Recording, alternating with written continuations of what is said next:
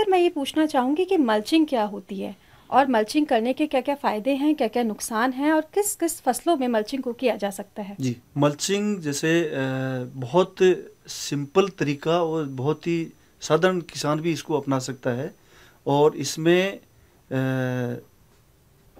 बहुत मतलब जो सामान्य जो काश्तकार है, सामान्य बुद्धि का, सामान्य जिसके पास में पैसा भी बहुत कम हो गया, जैसे आपने बताया ये गरीब आदमी का तो इसके लिए जो मल्चिंग जो फ़सल अपन उगाते हैं उसमें ज़मीन के ऊपर हम्म। ज़मीन के ऊपर अगर और कुछ भी आप बाहर से कुछ भी खरीद करके लगाने की स्थिति में भी नहीं है तो आपके खेत में हम्म। जो पुराना वेस्टेज जो होता है जैसे फ़सलों का जो अवशेष होता है जी। जिसको आप थोड़ा सा उसको कूट करके हम्म, और उसमें जो फ़सल जो फ़सलें उगाई जाती है उनके ज़मीन पे बिछा दिए और एक परत सी वहाँ उसमें फैला देंगे तो उसमें एक मल्च का काम करेगा और वो हम्म। काफ़ी इसमें इफ़ेक्टिव रहेगा। जैसे हम्म। अपने जो एवोपरेशन होता है।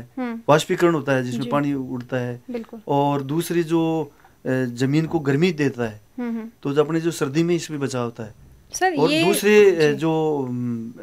छोटे छोटे सूक्ष्म जीव होते हैं जो ज़मीन में ही पलते हैं। उनकी भी वृद्धि इसमें जब इसको कवर मिल जाएगा तो उसमें इनका सुनिश्चित हो जाता है। हम्म। और ये जो क्रॉप जो फ़सलों का जो अवशेष होता है वो पर्यावरण की दृष्टि से बहुत ही फ़ायदेमंद है। उसमें कोई उसका नुकसान है ही नहीं।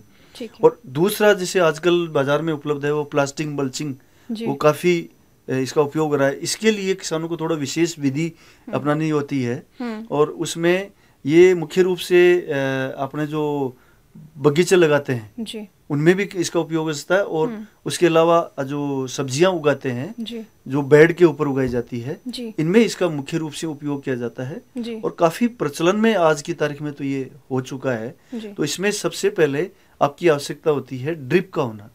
बूंद बूंद सिंचाई आप किसान के पास में उपलब्ध हो जी। तो ही वो आ, मल्च जो इसमें बेड बना करके हम्म। पहले सबसे पहले बेड बनाएगा। हम्म। बेड बनाने के बाद में ड्रिप लाइन उसके ऊपर बेड के ऊपर बिछा करके बेड मतलब सर क्या? ये आ, ये एक जैसे बेड मेकर आता है जो ज़मीन इनको थोड़ा ऊपर उठा करके हम्म। और सब्ज़ियाँ कभी भी की जाती है यही विभाग भी सिफारिश करता है कि आप बेड बना करके यानी आप एक बेड मेकर आता है जिससे ज़मीन से इसको मिट्टी को करीब छह से नौ इंच के करीब उठा देते हैं।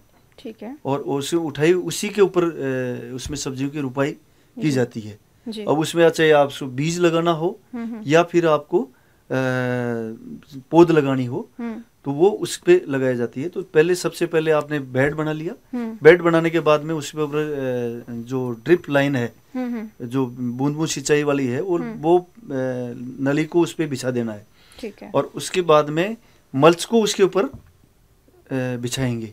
तो इसमें ये देखना है कि वो अच्छी कंपनी का हो तो उसमें हम्म। किसान इसको दो या तीन बार इस जैसे सब्ज़ी की फ़सल है वो ले सकता है हम्म। एक जैसे ही फ़सल उसकी हार्वेस्ट हो गई खत्म हो गई उसके बाद में इसको समेट करके रख देगा और अगली हम्म। फ़सल भी ले सकता है दो या तीन बार इसको आराम से काम ले सकता है अगर अच्छी ब्रांड का वो लेता है